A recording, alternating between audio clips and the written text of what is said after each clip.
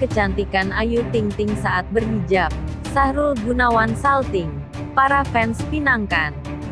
Belakangan, foto Ayu Ting Ting cukup jadi sorotan publik. Jika biasanya Ayu memakai baju cukup terbuka, di foto ini Ayu justru sangat tertutup. Ayu juga terlihat memakai hijab motif cantik dipadukan dengan kemeja putih polos. Penampilan Ayu ini tentu membuat publik berdecak kagum.